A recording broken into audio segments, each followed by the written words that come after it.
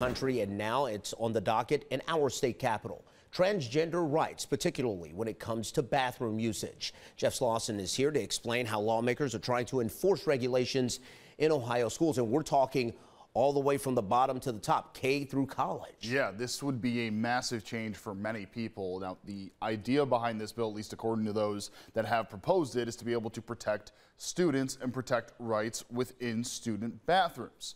So where would we be in this situation? Well, this is what the map currently looks like for those states that have either proposed or already accepted some sort of a ban when it comes to bathrooms in schools. The closest one to what's actually being proposed here in Ohio is the one that was signed in New Hampshire, the one that was proposed in New Hampshire. So what exactly would this bill be? Well, the bathroom bill in the state of Ohio as presented would say that the gender of a person is considered what was on their birth certificate. So if someone was born male or born female, that is the gender that is on their birth certificate. And that is the gender that determines which bathroom they will use. So let's say that a person was born male. They transitioned to become a female. They would still be using the male bathroom. If they are found using the female bathroom, they will not be allowed to do so and potentially could face some sort of an issue. This would be mandated in every single school. Now, this would only be for multiple student bathrooms, showering areas, changing areas, locker rooms,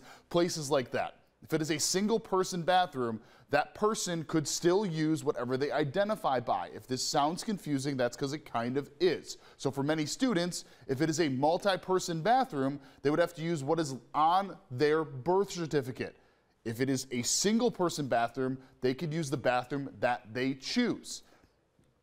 This would go, as Chris mentioned, for kindergarten through 12th grade, including college as well. And in addition to that, it does not apply to children 10 and under that are accompanied by a parent, guardian, someone like that. Now, we did make attempts to reach out to those that proposed this bill and those that are against this bill to at least get some more clarity. But where we are in this process is still incredibly early. However, Obviously, this still makes the headlines and is incredibly newsworthy. Where we are in this point is that it was just proposed. We don't even know if it's going to be given to a committee, which it's expected to do so, at some point. Once that happens, discussion will go back and forth. But because this was proposed by Republican lawmakers, Republicans could then vote on it, pass it through the Assembly and the Senate, and all it would take is a signature from Governor DeWine. He has not necessarily indicated whether that would be the case or not. However, I do want to point out with this bathroom bill, it's not necessarily that much more of a different bill than we've seen from other Republican-led states across the countries, country, and those, those bills in those states